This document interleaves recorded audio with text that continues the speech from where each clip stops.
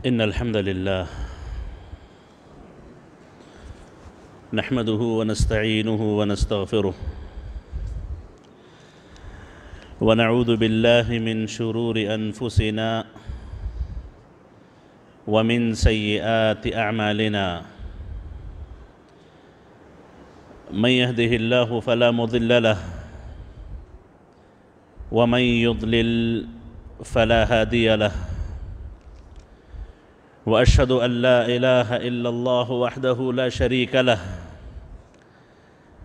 وأشهد أن محمدا عبده ورسوله صلى الله عليه وعلى آله وصحبه وسلم تسليما كثيرا. يا أيها الذين آمنوا اتقوا الله حق تقاته. ولا تموتن إلا وأنتم مسلمون. يا أيها الناس اتقوا ربكم الذي خلقكم من نفس واحدة وخلق منها زوجها وبث منهما رجالا كثيرا ونساء. واتقوا الله الذي تساءلون به والأرحام. إن الله كان عليكم رقيبا. يا أيها الذين آمنوا اتقوا الله وقولوا قولا سديدا. يصلح لكم أعمالكم ويغفر لكم ذنوبكم. ومن يطع الله ورسوله فقد فاز فوزا عظيما. أما بعد فإن خير الكلام كلام الله.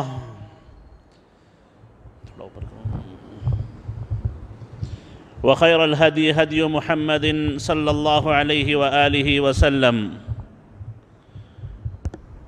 وشر الأمور محدثاتها. وكل محدثة بدعة. وكل بدعة ضلالة. وكل ضلالة في النار.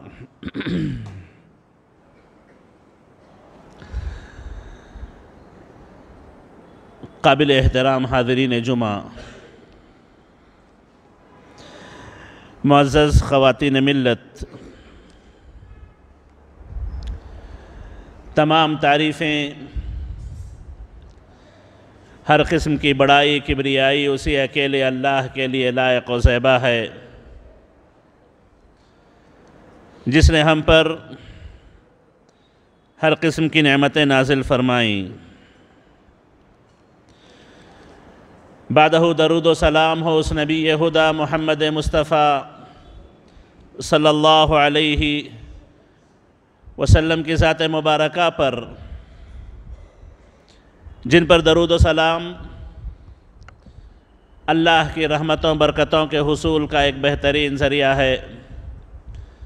صلی اللہ علیہ وعلى آلہ وصحبہ وسلم تسلیما کثیرا. معزز حاضرین،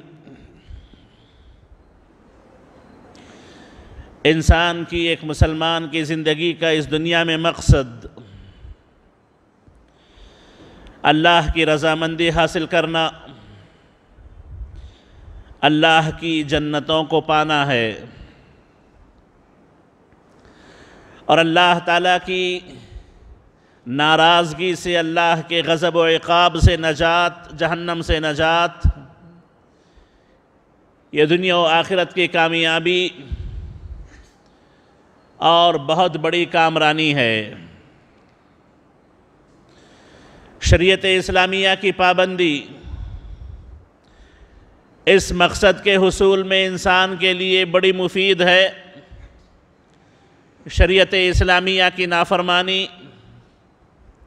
یاد رکھیں انسان کو دنیا و آخرت میں نقصان سے ہر قسم کے گھاٹوں سے دوچار کر دیتی ہے۔ نبی کریم علیہ السلام کے مختلف ارشادات میں سے ایک ارشاد یہ بھی ہے کہ نبی کریم علیہ السلام نے فرمایا اکثر ما يدخل الناس النار، الفم والفرج. کہ سب سے زیادہ جہنم کی آگ میں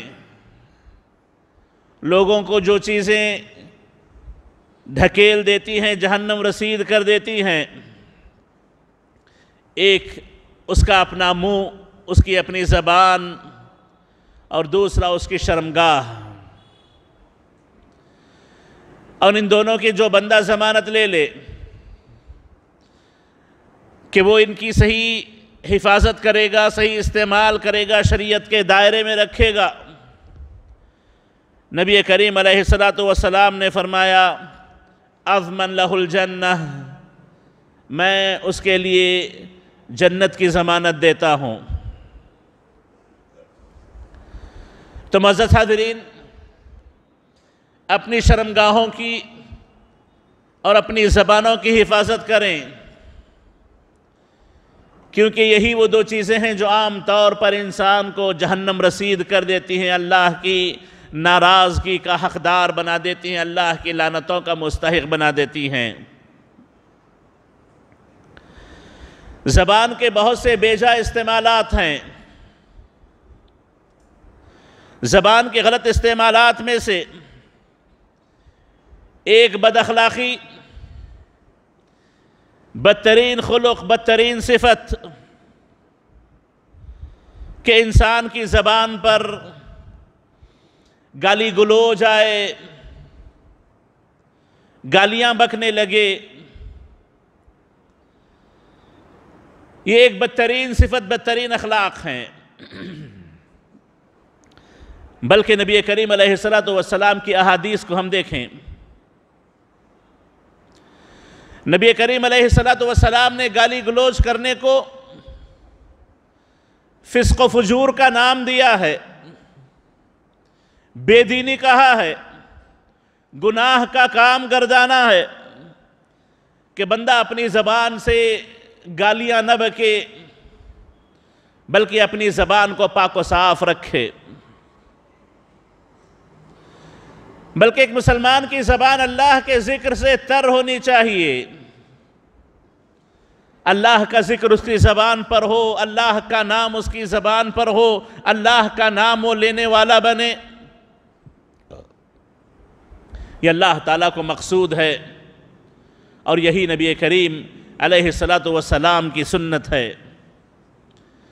نبی کریم علیہ السلام کی زبان سے متعلق آتا۔ کہ آپ کی زبان ہمیشہ اللہ کے ذکر سے تر رہا کرتی، اللہ کا ذکر آپ کی زبان پر ہمیشہ ہوا کرتا تھا۔ چاہے گالی گلوج، کسی مسلمان کو کوئی بندہ دے، کسی کافر کو دے، کسی مخلوق کو دے، یا کسی کو بھی ہو، زبان پر گالی گلوج کا آنا یہ انسان کے فاسق و فاضر ہونے کی نشانی ہے۔ معزز حاضرین، زبان پر گالی گلوج آنے کے بہت سے نقصانات ہیں۔ ایک نقصان، نبی کریم علیہ السلام کی اس حدیث میں اس کی طرف اشارہ ہے کہ قیامت کے دن انسان بہت سی نیکیاں لے کر کے آئے گا۔ بہت سی بھلائیاں لے کر کے آئے گا۔ لیکن جب وہ اللہ کے پاس پہنچے گا، حساب و کتاب شروع ہوگا، تو نبی کریم علیہ السلام کہتے ہیں کہ اس کے نام اعمال میں یہ ہوگا کہ قد شتم هذا وقد ضرب هذا واخذ مال هذا وسفك دم هذا۔ کسی کو گالی دیا ہوگا، کسی کو برا بھلا کہا ہوگا۔ کسی کو کسی پر ظلم کیا ہوگا، کسی کا خون کیا ہوگا، کسی کا مال چھینا ہوگا، مختلف قسم کے ظلم لے کر کے قیامت کے دن وہ پہنچے گا۔ حساب و کتاب میں نیکیاں اور برائیاں آپس میں ایکسچینج ہوں گی۔ جو اس کے مظلوم ہوں گے، اس کی نیکیاں اٹھا کر کے ان کو دی جائیں گی۔ جب اس کی نیکیاں ختم ہو جائیں، حساب کتاب باقی رہ جائے تو ان کی برائیاں لا کر کے اس کے سر پہ ڈال دی جائیں گی۔ اب اس کی حالت دیکھیں۔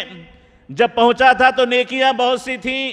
جب حساب و کتاب ختم ہوا تو نیکیاں پوری ختم ہو گئیں، برباد ہو گیا۔ تو نبی کریم علیہ السلام نے کہا کہ یہی حقیقت میں مفلس ہے۔ یہی حقیقت میں مفلس ہے۔ سب سے بڑا فقیر، سب سے بڑا بھکاری، سب سے بڑا مفلس یہی ہے۔ کہ نیکیاں بہت سی لے کے آئے لیکن بانٹ کے نیکیاں ختم کر دے، دوسروں کی برائیاں اپنے سر پہ ڈال لے۔ یہ کیوں ہوا؟ کیونکہ جو اس نے گناہ کیے، جو اس نے غلطیاں کی ان غلطیوں میں ایک غلطی گالی گلوچ کی تھی۔ بیجا کسی کو گالی دینا، شوقیہ کسی کو گالی دینا، غصے میں کسی کو گالی دینا، عادتاً کسی کو گالی دینا، گالی گلوچ کو اپنی تکیے اپنا تکیے کلام بنا لینا، اپنی زندگی کا روٹین بنا لینا۔ یاد رکھے، قیامت کے دن کی مفلسی کا یہ سبب ہے۔ قیامت کے دن کی اپنی نیکیوں کی بربادی کا یہ سبب ہے۔ اپنی زبان کو پاک و صاف رکھیں۔ اپنی زبان کو پاک و صاف رکھیں۔ ورنہ یہی زبان ہے جس کے تعلق سے نبی کریم علیہ السلام نے فرمایا کہ جہنم میں جانے کی جو بہت بڑے اسباب ہیں، ان میں سے ایک بڑا سبب یہ زبان ہے جو لے گیا کر کے لوگوں کو ان کے منہ کے بل اوندھا انڈیل دیتی ہے۔ محسوس حاضرین، میں کچھ احادیث کا آپ کے سامنے تذکرہ کروں گا، جس میں نبی کریم علیہ السلام نے گالی گلوز کرنے، برا بھلا کہنے سے روکا اور منع فرمایا ہے۔ محسوس حاضرین ایک ایک روایت میں آتا ہے کہ نبی کریم علیہ السلام اپنے کسی سفر پہ تھے، ساتھ میں ایک آدمی چل رہا تھا، زور سے ہوا چلی۔ اس آدمی نے جو چادر اوڑھ رکھی تھی، ہوا نے وہ چادر نکال دی۔ ہوا تیز چل رہی ہے۔ ہوا چادر کو کھینچ رہی ہے اور یہ چادر کو پکڑنے کی کوشش کر رہا ہے۔ اتنے میں ہوا یہ کہ اس نے آ کر کے ہوا پر لان و تان کر دیا۔ ہوا کو گالی دے دی۔ نبی کریم علیہ السلام نے فوری طور پر اللہ کے نبی نے منع کیا، کہا، لا تلعنها فإنها مأمورہ۔ اللہ کے نبی نے کہا کہ ہوا کو گالی مت دو، کیونکہ ہوا اللہ کے حکم سے چلتی ہے۔ ہوا اللہ کے حکم سے چلتی ہے، ہوا کو گالی مت دو، ہوا کو برا بلا مت کہو۔ وَإِنَّهُ مَنْ لَعْنَ شَيْئًا لَيْسَ لَهُ بِأَهْلٍ رَجَعَتِ اللَّعْنَةُ عَلَيْهِ۔ کہ اگر وہ کسی کو کوئی بندہ گالی دے دے، وہ گالی کی حقدار نہ ہو، تو گالی پلٹ کر کے گالی دینے والے کو آ کر کے لگ جاتی ہے۔ وہی اس گالی کا، اس بددعا کا حقدار بن جاتا ہے جو اس نے کسی اور کو بددعا دی تھی۔ تو حدیث ہمیں یہ بتاتی ہے کہ جتنی اللہ کی مخلوقات ہیں، جو چیزیں اللہ کے حکم اور اللہ کے فیصلے سے چلتی ہیں، جو چیزیں تقدیر سے مقدر ہوتی ہیں، جو اللہ کی طرف سے فیصلے سے ثابت ہو جاتی ہیں، بندہ اس کو گالی دے بندہ اس کو برا بھلا کہے تو یاد رکھے یہ گالی، بجائے اس کے کہ اس کو لگے، پلٹ کر کے اسی پہ آتی ہے۔ بلکہ نبی کریم علیہ السلام نے ہواؤں سے متعلق جو نبی کریم علیہ السلام نے بات بتائی، وہ یہ تھی کہ لا تصب الریح ہواؤں کو گالی نہ دو۔ فَإِذَا رَأَيْتُم مَّا تَكْرَهُونَ، فَقُولُوا اللَّهُمَّ إِنِّي اللَّهُمَّ إِنَّا نَسْأَلُكَ مِنْ خَيْرِ هَذِهِ الرِّيحِ وَخَيْرِ مَا فِيهَا وَخَيْرِ مَا أُمِرَتْ بِهِ۔ کہ کبھی ہواؤں کو گالیاں مت دو۔ کبھی ہواؤں کو گالیاں مت دو۔ ہواؤں میں آب و فضا بھی آ جاتی ہے۔ ہواؤں میں موسم بھی آ جاتے ہیں۔ ہواؤں میں یہ مختلف قسم کی وبائیں جو پھیل جاتی ہیں۔ وباؤں کو گالیاں دینا، بیماریوں کو گالیاں دینا، یا اسی قسم سے آب و ہوا کو گالیاں دینا، یہ تمام چیزیں ناپسندیدہ ہیں۔ اگر آپ کو تکلیف ہو، اگر آپ کو کچھ اوچ نیچ ہو، تو اللہ کے نبی نے کہا کہ گالی مت دو۔ بلکہ اللہ سے یہ کہو، اے اللہ، انا نسألک من خیر هذه الریح اے اللہ، اس آب و ہوا، اس ہوا کا جو خیر ہے اللہ، میں اس کا تجھ سے مطالبہ کرتا ہوں۔ اور اس ہوا میں جو اللہ تو نے خیر رکھا ہے، اس خیر کا میں تجھ سے مطالبہ کرتا ہوں۔ اور اس ہوا کو جو کچھ نے خیر کا حکم دیا ہے، ان تمام خیر کا میں تجھ سے مطالبہ کرتا ہوں۔ وَنَعُوذُ بِكَ مِن شَرِّ هَذِهِ الرِّيحِ۔ وشر ما فیہا وشر ما عمرت به پھر اللہ کے نبی نے کہا کہ اللہ کی پناہ طلب کرو کہ اس ہوا میں جو کچھ شر ہے، اس میں جو کچھ شر ہے، ان بری ہواوں سے تم اللہ کی پناہ طلب کرو۔ اور جن برائیوں کا، جن نقصانوں کا اللہ نے اس ہوا کو حکم دیا ہے، اس سے اپنے آپ کے اللہ کی پناہ طلب کرو، یہ تمہیں کرنا چاہیے۔ بجائے اس کے کہ تم ہوا کو گالی دو، ہوا کو برا بھلا کہو، اس سے کچھ ہوتا نہیں ہے، بلکہ وہ گالیاں پلٹ کر کے انسان ہی پر آ جاتی ہیں۔ اور اسی طریقے سے معزز حاضرین، شریعت نے اس بات سے بھی منع کیا ہے کہ بندہ بیماریوں کو گالیاں نہ دے، وباؤں کو گالیاں نہ دے۔ درد کو گالیاں نہ دے، بخار کو گالیاں نہ دے۔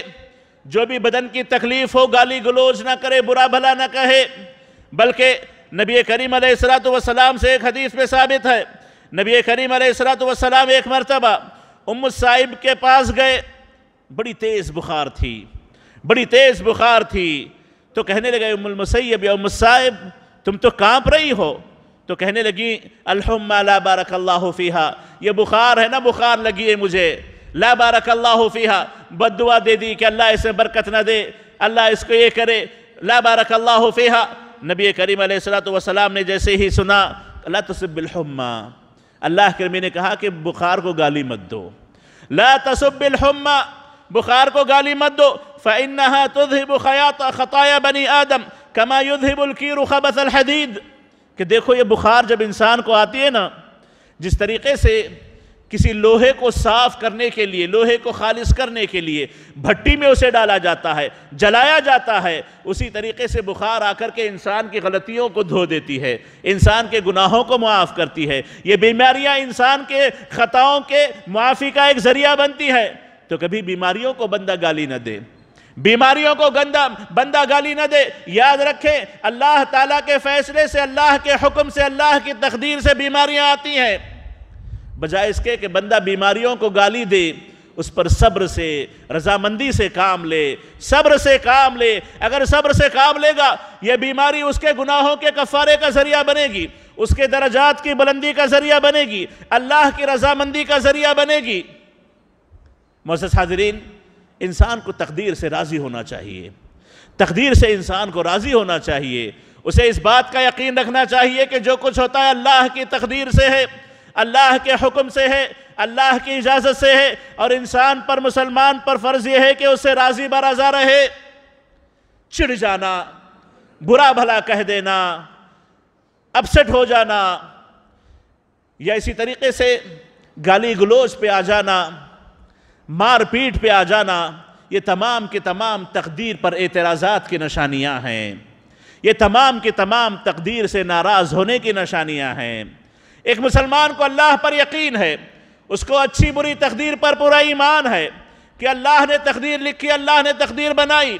اگر وہ نہ چاہتا تو اسے کوئی تکلیف نہ پہنچتی۔ اور اگر وہ چاہ لے تو کوئی اس کو تکلیف سے بچا نہیں سکتا۔ جب تک یہ ایمان مکمل نہ ہو، یاد رکھے اللہ تعالیٰ نہ دنیا میں کامیابی دے گا، نہ آخرت میں اسے کامیابی ملے گی۔ تقدیر پر مکمل ایمان کا ایک معنی یہ بھی ہے کہ تقدیر جو فیصلے اللہ ہماری زندگیوں میں کر دے، اس پر راضی برضا رہیں۔ گالی گلوز کرنا، برا بھلا کہنا، چڑ جانا، کسی کو پیٹ دینا، کچھ توڑ پھوڑ دینا، یہ تمام چیزیں شریعت کے خلاف ہیں۔ یہ تمام چیزیں انسان کو شیطان کی پیروی کی طرف لے جانے والی ہیں۔ بلکہ معزز حاضرین، جس شیطان کو اللہ نے ہمارا دشمن بنا کے بھیجا ہے، جس کے تعلق سے اللہ نے فرمایا کہ اتخذوه عدوا اس کو اپنا دشمن گردانو، اپنا دشمن سمجھو۔ معزز حاضرین، اس کو بھی گالی دینے سے اللہ کے نبی علیہ السلام نے منع کیا ہے۔ شیطان کو گالیاں نہیں دی جاتی، شیطان پر گالیاں نہیں دی جاتی۔ شیطان کو برا بلا نہیں کہا جاتا، بلکہ شیطان کے شر سے، شیطان کے مکر سے، شیطان کی چالوں سے، شیطان کے ہر دھوکے سے بچنے کی انسان کو کوشش کرنی چاہیے، اللہ کی پناہ طلب کرنی چاہیے۔ شیطان رجیم سے، شیطان کے وسوسوں سے، شیطان کے مکر سے، شیطان کے فریب سے۔ اس کا ہمیں حکم ملا ہے۔ ہمیں اس بات کا حکم ملا ہے کہ اللہ تعالیٰ کی پناہ طلب کرتے رہیں ہمیں اس بات کا حکم نہیں ملا کہ شیطان پہ لانتیں بھوجو شیطان پہ لانتیں بھیجو۔ شیطان کو برا بلا کہو، شیطان سے گالی گلوز کرو۔ اس کا ہمیں حکم نہیں ملا۔ محسوس حاضرین، اگر کوئی بندہ شیطان کو گالی گلوز کرے، خود اسی کا نقصان ہوگا۔ خود اسی کا نقصان ہوگا۔ ایک روایت میں آتا ہے کہ نبی کریم علیہ السلام سواری پہ بیٹھ کے جا رہے تھے۔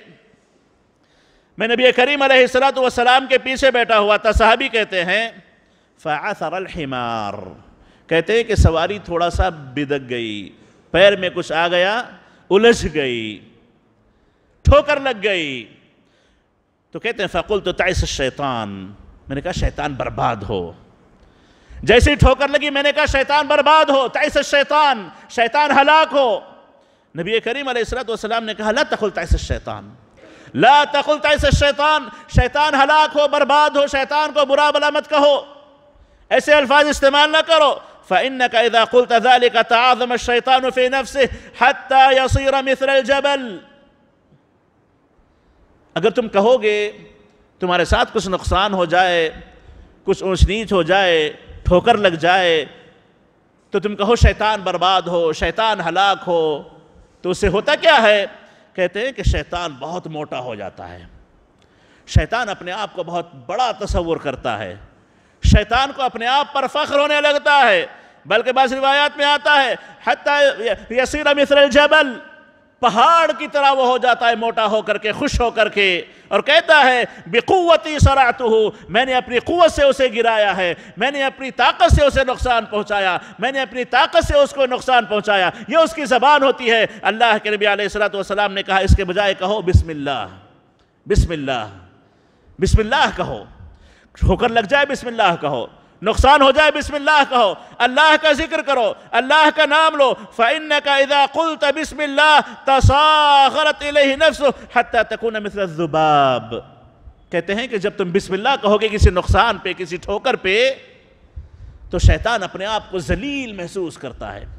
شیطان اپنے آپ کو ذلیل محسوس کرتا ہے۔ کہتے ہیں، اللہ کے نبی یہاں تک کہ ذلت میں اپنے آپ کو مکھی جیسا تصور کرنے لگتا ہے۔ تو معزز حاضرین، یہ حدیث ہمیں یہ بتاتی ہے کہ ہم شیطان کو بھی گالیاں نہ کہیں، شیطان کو بھی برا بھلا نہ کہیں، بلکہ ہمیں اس بات کا حکم ہے کہ ہمیں شیطان کے شر سے اللہ کی پناہ مانگنی چاہیے، اللہ کی پناہ طلب کرنی چاہیے۔ اور معزز حاضرین، اسی طریقے سے نبی کریم علیہ السلام نے پرندوں کو، جانوروں کو گالی دینے سے منع کیا، پرندوں کو گالیاں نہ دی جائیں۔ پرندوں کو گالیاں نہ دی جائیں۔ نبی کریم علیہ السلام کی ایک حدیث میں آتا ہے، لا تسب الدیک۔ مرغے کو گالی مت دو۔ مرغے کو گالی مت دو۔ فَإِنَّهُ يُوْخِذُ لِلصَّلَاةِ۔ کیونکہ تمہیں نماز کے لیے جگاتا ہے وہ۔ مرغوں کی عادت ہوتی ہے کہ جب وہ فرشتوں کو دیکھ لیتے ہیں تو آواز کرتے ہیں، بانگ دیتے ہیں، مرغے آواز کرنے لگتے ہیں۔ خصوصاً فجر صادق کے موقع پر جب فرشتوں کا نزول ہوتا ہے، یہ پرندے، یہ مرغے فرشتوں کو دیکھ کر کے بانگ دینے لگتے ہیں، آواز کرنے لگتے ہیں۔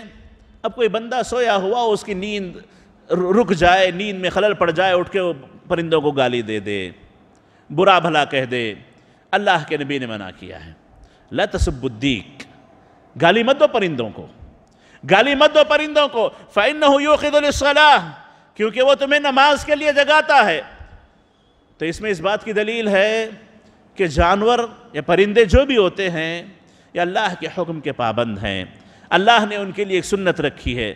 اللہ نے ان کے لیے ایک طریقہ بتایا ہے۔ اس کے مطابق وہ زندگی گزارتے ہیں۔ خصوصی طور پر مرغے کے تعلق سے نبی کریم علیہ السلام نے کہا، کیونکہ صبح کو جگانے کا ایک کام کرتا ہے تو بندہ اس کو گالی گلوز نہ کرے، برا بھلا نہ کہے۔ اگرچہ کہ نیند میں خلل پڑ جائے پڑ جائے کوئی بات نہیں، لیکن اس کو گالی گلوز کرنا، برا بھلا کہنا، یہ شریعت میں ممنوع ہے۔ اللہ کے نبی علیہ السلام نے اس سے منع کیا ہے۔ اور اسی طریقے سے معزز حاضرین نبی کریم علیہ السلام نے جانوروں کو گالی دینے سے منع کیا ہے۔ جانوروں کو گالیاں نہیں دی جاتی۔ ایک مرتبہ اللہ کے نبی سفر کر رہے تھے۔ ساتھ میں ایک بندہ کوئی تھا جو اپنے اونٹ پر سواری کر کے جا رہا تھا، اپنی سواری پر تھا۔ وہ سواری کو بھگا رہا ہے، لے جا رہا ہے۔ سواری اس کی بات نہیں سن رہی ہے۔ سواری اس کی بات سن نہیں رہی ہے۔ اس نے کیا یہ کہ سواری پر لعنت بھیج دی۔ سواری پر لعنت بھیج دی۔ لعنت اللہ علیک۔ اللہ کی لعنت ہو تجھ پہ۔ تو نبی کریم علیہ السلام نے جب سنا، تو اس نے کہا، اس آدمی سے کہ فوری سواری سے اترو۔ فوری سواری سے اترو۔ تو نبی کریم علیہ السلام کی بات سن کر وہ سواری سے اتر گیا۔ نبی کریم علیہ السلام نے کہا کہ اس سواری کو چھوڑ دو کیونکہ اللہ کی لعنت اس پہ آ چکی ہے۔ اس سواری کو چھوڑ دو، اللہ کی لعنت اس پہ آ چکی ہے۔ یہ سواری ہمارے ساتھ نہیں چل سکتی۔ اس سواری کو ہمارے ساتھ نہیں چلنا چاہیے۔ محسوس حاضرین، جانوروں کو بلا بلا کہنا، جانوروں کو لانتان کرنا۔ یہ نبی کریم علیہ السلام والسلام نے اس سے منع کیا ہے کہ جانوروں کو لانتان نہیں کیا جاتا۔ کبھی جانور سست سست ہوتے ہیں، کبھی جانور چست ہوتے ہیں، کبھی وزن اٹھا پاتے ہیں، کبھی وزن نہیں اٹھا پاتے، کبھی چل پاتے ہیں، کبھی نہیں چل پاتے۔ ان کی اپنی طبیعت، ان کے اپنے مسائل ہوتے ہیں۔ بندہ اٹھے لانتیں بھیج دے۔ ہو سکتا ہے دعا کی قبولیت کا وقت ہو لانت کی بد دعا قبول ہو کر کے اس پہ اتر جائے اور وہ ملعون چیز کسی کے ساتھ رہے گی تو سب کو لانتیں لگیں گی۔ سب کو لانتیں لگیں گی۔ تو اللہ کے نبی علیہ السلام نے فوری طور پر اس سواری کو اپنے سے دور کر دیا، کہا کہ اس سواری کو ہمارے ساتھ نہ رکھا جائے۔ تو ایسے چلتے چلتے کوئی بندہ اپنی بائک کو گالی دے دے، اپنی کار پر لانت بھیج دے، اپنی سواریوں پر لانتیں کرنے لگے۔ یہ تمام چیزیں شریعت اسلامیہ کے خلاف ہیں۔ یہ تمام چیزیں غیر شعوری طور پر انسان کو برباد کر دیتی ہیں۔ انسان پر اللہ تعالیٰ کی ناراضگیوں کا سبب بنتی ہیں۔ تو معزز حاضرین، اپنی زبان کو صاف پاک رکھیں۔ اپنے آپ کو کبھی گالی گلوز کا عادی نہ بنائیں۔ اپنی زبان پر کبھی گالی گلوز نہ لائیں۔ یہ بڑے افسوس کے ساتھ ہماری عادت ہے کہ ہمارے ساتھ کچھ بھی برا ہو جائے، فوری زبان پہ گالی آ جاتی ہے۔ فوری زبان پہ برا بلا ہم کہہ دیتے ہیں۔ راہ چلتے کوئی اچانک ٹکرا جائے، اس کو برا بلا کہہ دیا۔ راہ چلتے کوئی تیزی سے بازوں سے نکل جائے، اس کو برا بلا کہہ دیا۔ راہ چلتے کوئی اونچ نیچ ہو جائے، اس کو برا برا بلا کہہ دیا۔ غرض یہ کہ بڑے افسوس کے ساتھ گالی گلوج ہماری زندگی کا، ہماری زبان کا ایک ترہ بن چکا ہے۔ ہماری زبان پر گالی گلوج بہت زیادہ ہے۔ یاد رکھے گالی گلوج کرنا انسان کو اللہ کی رحمتوں سے محروم کرنے کا ذریعہ اور قیامت کے دن مفلسی کا ایک بدترین ذریعہ ہے۔ اللہ تعالیٰ سے دعا ہے کہ اللہ تعالیٰ ہمیں اپنی زبانوں کو پاک و صاف رکھنے کی توفیق نصیب فرمائے۔ ہر برے اخلاق سے ہمیں اپنے آپ کو صاف رکھنے اور ہمیں اپنے آپ کی حفاظت کرنے کی توفیق نصیب فرمائے آمین أقول قولی هذا وأستغفر الله لي ولكم ولسائر المسلمين من كل ذنب فاستغفروه إنه هو الغفور الرحيم.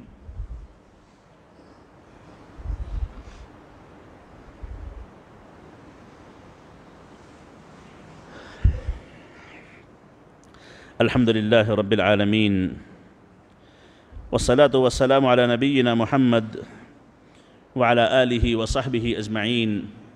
ومن تبعهم بإحسان إلى يوم الدين، أما بعد. معزز حضرین گالی گلوز کرنا یاد رکھیں، یہ ایک مسلمان کے اخلاق نہیں ہو سکتے۔ بلکہ جو جو گالی کا حق رکھتے ہیں، جن کو گالی دی جا سکتی ہے، ان کو بھی گالی دینے سے اللہ کے نبی، اللہ تعالی نے منع کیا۔ ولا تصب الذين يدعون من دون الله فيسب الله بغیر علم۔ ابو جہل ابن ہشام نے اللہ کے نبی سے کہا تھا کہ تم ہمارے معبودان بات، ہمارے معبوداؤں کو، ہمارے بتوں کو برا بھلا کہنا چھوڑ دو، ورنہ ہم تمہارے رب کو برا بھلا کہیں گے۔ اللہ نے آیت نازل کی کہ وہ جن کی عبادت کرتے ہیں، ان کو تم برا بھلا نہ کہو۔ نتیجے میں وہ اللہ کو ظلماً بغیر علم کے برا بھلا کہہ کر کے اللہ کی اور لعنتوں کے مستحق ہو جائیں گے۔ تو معزز حاضرین، گالی گلوج غیر مسلمانوں کے بتوں کو بھی نہیں کی جاتی۔ گالی گلوج غیر مسلمانوں کے نزدیک جو لوگ محترم ہوں، جو لوگ معظم ہوں، ان کو بھی گالی گلوج نہیں کی جاتی۔ بلکہ گالی گلوج ایک بدترین صفت ہے، بدترین اخلاق ہیں۔ یہ کسی صورت کسی مسلمان کو زیب نہیں دیتا کہ جس زبان سے وہ اللہ کا ذکر کرے، جس زبان سے اللہ کے کلام کو پڑھے، جس زبان سے اللہ کے قرآن مجید کی وہ تلاوت کرے، اس زبان سے گالیاں بکے۔ یہ کسی مسلمان کو زیب نہیں دیتا، کسی مسلمان کے شائن شان نہیں ہے کہ وہ اپنی زبان سے غلط قسم کے الفاظ، زبان سے نکالنے کا اپنے آپ کو عادی بنائے۔ معزز حاضرین بلکہ نبی کریم علیہ السلام نے زندہ تو دور کے بعد مردہ لوگوں کو بھی گالی دینے سے منع کیا ہے۔ مردوں کو بھی برا بھلا نہ کہو۔ عائشہ صدیق عردنہ کہتی ہیں کہ اللہ کے نبی کے سامنے کسی آدمی کا جس کا انتقال ہو چکا تھا برا تذکرہ نکلا۔ اس کے تعلق سے برا بھلا کہا گیا۔ تو اللہ کے نبی علیہ السلام نے کہا، اذا مات صاحبکم فدعوه، اذا مات صاحبکم فدعوه ولا تقعوا فيه لا تذكروا هلكاكم الا بخير اللہ کے نبی نے کہا کہ جب تم میں سے کسی کا کوئی ساتھی مر جائے تو اسے چھوڑ دو۔ اسے چھوڑ دو۔ لا تقعوا فیہ۔ اس کو برا بھلا نہ کہو۔ اس کے تعلق سے کچھ نہ کہو۔ اور فرمایا، لا تذکروا حلقاکم اللہ بخیر۔ تم میں سے جو انتقال کر چکے ہیں، مر چکے ہیں، ان کو برا بھلا نہ کہو۔ ان سے غلط قسم کی باتیں ان کے تعلق سے نہ کہو۔ بلکہ ایک اور حدیث میں اللہ کے نبی نے کہا، لا تسب الاموات فدؤذ الاحیاء، کہ تم مردوں کو گالی دے کر کے زندوں کو تکلیف نہ پہنچاؤ۔ مردوں کو گالی دے کر کے زندوں کو تکلیف نہ پہنچاؤ۔ بعض اوقات ہوتا یہ ہے کہ کسی مردے کو برا بلا کہنے سے زندوں کو تکلیف ہوتی ہے۔ مردے کو برا بلا کہنے سے زندوں کو تکلیف ہوتی ہے۔ تو تکلیف دینے سے اللہ کے نبی نے منع کیا، گالی گلوچ کرنے سے اللہ کے نبی نے منع کیا۔ تو محسوس حاضرین، گالی گلوچ کسی صورت جائز نہیں ہے۔ گالی گلوچ کسی صورت جائز نہیں ہے، بلکہ نبی کریم علیہ السلام نے یہاں تک کہا، لا تؤذو مسلما بشتم کافر۔ کسی کافر کو برا کہہ کر کے مسلمان کو تکلیف نہ دو۔ جب پتا ہے کہ فلاں کافر کو بلا کہیں گے تو مسلمان کو تکلیف ہوگی۔ لا تؤذو مسلما بکافر۔ کہ کسی کافر کو برا بھلا کہہ کر کے کسی مسلمان کو تکلیف نہ دو۔ تو محسوس حاضرین، اس سے پرہیز کرنا بچنا چاہیے۔ اب جائے کہ ہم اپنے مسلمان بھائیوں کو گالیاں دیں۔ مسلمان بھائیوں کو گالیاں دیں۔ محسوس حاضرین، اللہ کے السلام فرماتے ہیں، سباب المسلم فسوق، سباب المسلم فسوق، مسلمان کو گالی دینا، یہ فسق و فجور کی نشانی ہے، انسان کے فاسق ہونے کی نشانی ہے، گنہگار ہونے کی نشانی ہے۔ بڑے افسوس کے ساتھ ہم اپنے دوستوں کو گالیوں کے ساتھ بات کرتے ہیں۔ آپس میں بات چیت گالیوں سے ہوتی ہے۔ کیا الفاظ ہیں یہ؟ کیا معنی ہے اس کے؟ کیا مطلب ہے اس کا؟ کیا اثر پڑے گا اس پہ؟ آخرت کا کیا ہوگا؟ اللہ کے ہاں حساب و کتاب کیا دیں گے؟ قیامت کے دن نیکیاں اور برائیاں جب ایکسچینج ہوں گی، تب یہ گالیاں نقصان دہ ثابت ہوں گی۔ انسان کو بڑا نقصان پہنچائیں گی۔ تکیہ کلام ہم نے گالیاں بنا لی ہیں۔ ہنستے ہنستے گالیاں دیتے ہیں۔ ذرا غور کرنے کا مقام ہے۔ نبی کریم علیہ السلام نے کہا، ساب المسلم کل مشرف الحلقہ مسلمان کو گالی گلوچ کرنے والا ہلاکت کے بالکل قریب پہنچ چکا ہے۔ مسلمان کو گالی دینے والا ہلاکت کے بالکل قریب پہنچ چکا ہے۔ تو محسوس حاضرین ہلاکت کے قریب پہنچنا ہو تو زبان پہ گالیاں ہوتی ہیں۔ اور یہ بھی یاد رکھیں نبی کریم علیہ السلام نے جو منافقین کے نشانیاں گنائیں ان میں سے ایک نشانی یہ بھی اللہ کے علیہ السلام نے گنائی ہے کہ مسلمان منافق اس وقت ہوتا ہے جب وہ اپنی بات چیت میں گالی گلوچ کرے، جھگڑے میں گالی گلوچ کرے، برا بھلا کہے، یہ منافقت کی نشانی ہے۔ یہ منافقت کی نشانی ہے۔ تو محسوس حاضرین اپنی زبانوں کی حفاظت کریں۔ اپنی زبانوں کی حفاظت کریں۔ اپنی زبان کو پاک و صاف رکھیں۔ زبان پر گالی گلوز نہ لائیں، منافقانہ صفات سے اپنے آپ کی حفاظت کریں۔ اور جو لوگ خاص طور پر نوجوان طبقہ ہو، یا ہماری اپنی خواتین ہوں، یا بزرگ حضرات کیوں نہ ہوں، ان تمام کی ذمہ داری ہے کہ اپنی زبان کی حفاظت کریں۔ زبان کو اپنے گھروں میں ہو بازاروں میں ہو یا جہاں بھی ہو، زبان کی حفاظت بڑی ضروری ہے۔ گالی گلوج بدترین اخلاق ہیں، برا بھلا کہنا بدترین اخلاق ہیں۔ اس سے اپنی زبان کو روکے رکھیں۔ کہیں ایسا نہ ہو کہ زبان پر گالی گلوج ہو، جس کے نتیجے میں زبانیں اللہ کے ذکر سے محروم ہو جائیں۔ جس کے نتیجے میں زبانیں اللہ کے ذکر سے محروم ہو جائیں۔ اللہ کی یاد سے محروم ہو جائیں۔ اللہ کے کلام مجید کی تلاوت سے محروم ہو جائیں۔ گالی گلوج ہمارے لیے کہیں نحوست نہ بن جائیں۔ اس سے بچنے کی کوشش کرنی چاہیے، اس سے پرہیز کرنا چاہیے اور اپنے آپ کو گالیوں سے بچائے رکھیں۔ بعض طبقات ایسے ہیں، بعض ماحول ایسے لوگوں کے بنائے رکھے ہیں۔ یہ کہا جاتا ہے کہ اس فیلڈ میں جیسے تجارت ہو یا مزدوری کے کام کرنے والے ہوں یا لیبر طبقہ ہو، جب تک ان سے گالی گلوز نہ کی جائے لوگ کام نہیں کرتے۔ جب تک ان سے گالی گلوز نہ کیا جائے، ہمارا کام نہیں نکلتا۔ بڑی غلط بات ہے، بڑی غلط بات ہے۔ اللہ تعالیٰ نے تقدیر میں وہ کام آپ کے حق میں لکھا ہو، ہر حال میں ہوگا، ہر حال میں ہو کے رہے گا۔ اور اگر اللہ نے آپ کی تقدیر میں وہ کام نہ لکھا ہو، چاہے آپ ہزار گالی بکلیں، وہ کام آپ سے نہیں ہو سکتا، آپ کے حق میں نہیں ہو سکتا۔ بس امتحان اس بات کا ہے کہ اس کام کے کرانے کے لیے آپ کی زبان کا استعمال آپ کیسے کریں گے؟ آپ کی زبان کا استعمال آپ کیسے کریں گے؟ کسی کا گالی سن کر کے بات کو کر لیں لینا، کسی گالی کا سن کر کے کام کو کر لینا۔ یہ جہاں اس کے لیے ایک آزمائش ہے، وہیں پر آپ کی زبان کے لیے آزمائش ہے۔ اللہ آپ کی زبان کو جانچتا ہے، اللہ آپ کی زبان کو جانچتا ہے، دیکھنا چاہتا ہے کہ کہاں تک وہ شریعت کا پابند اپنی زبان کو رکھتا ہے یا گالی گلوز پہ آ جاتا ہے۔ معزز حاضرین، زمانے کے دھوکے میں نہ آئیں۔ زمانہ دھوکہ دینے والی چیز ہے۔ زمانے کی باتوں میں نہ آئیں۔ زمانے میں جھوٹ اور غلط قسم کی باتیں بہت زیادہ ہیں۔ اپنے آپ کو شریعت کا پابند بنائیں۔ اللہ نے شریعت میں بڑا خیر رکھا ہے۔ اللہ اللہ تعالیٰ سے دعا ہے کہ اللہ تعالیٰ ہماری ہمارے زبانوں کی ہمارے ایمان کی حفاظت فرمائے اور جب تک ہمیں زندہ رکھے نبی کریم علیہ السلام کی سنتوں کو آپ کے اخلاق کو اپنانے والا بنا کر کے ہمیں زندہ رکھے، جب موت دے تو ہمارا خاتمہ بالخیر فرمائے اور سوئی خاتمہ سے اللہ تعالیٰ ہماری حفاظت فرمائے۔ ربنا لا تؤاخذنا إن نسينا أو أخطأنا ربنا ولا تحمل علينا إصرا كما حملته الذين من قبلنا. ربنا ولا تحملنا ما لا طاقة لنا به. واعف عنا واغفر لنا وارحمنا. أنت مولانا فانصرنا على القوم الكافرين. ربنا آتنا في الدنيا حسنة وفي الآخرة حسنة وقنا عذاب النار. إن الله وملائكته يصلون على النبي. يا أيها الذين آمنوا صلوا عليه وسلموا تسليما. اللهم صل على محمد وعلى آل محمد كما صليت على إبراهيم وعلى آل إبراهيم إنك حميد مجيد.